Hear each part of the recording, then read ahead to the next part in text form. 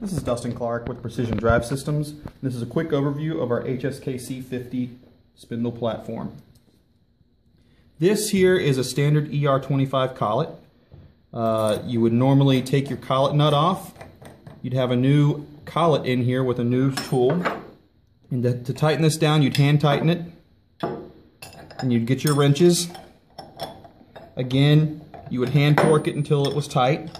But be careful here not to over torque this because you could end up ruining the, the threads on the end of this spindle shaft. And that's how you would change out a tool on a, on a collet spindle. The HSKC spindle, it's, uh, it's a quick change spindle and basically you would have to take this cover ring, switch it over to where you see through the hole.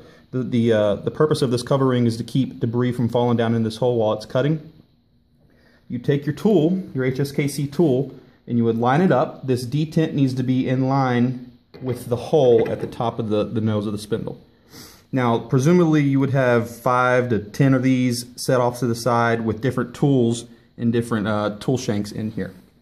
So once you get this set, you'll tighten this down. And now you have a tool in here. That's not coming out. When you're ready to change your tool, you would take this standard Allen wrench and loosen it, and there's your tool change. Now this HSKC spindle, it comes in a 32, an HSK 40, an HSK 50, and an HSK 63. And that basically just denotes the different sizes of this uh, part of the, the, the, tool. So if you're interested in these, you can visit our website or email us at at spindles at pdsspindles.com. And we look forward to hearing from you. Have a great day.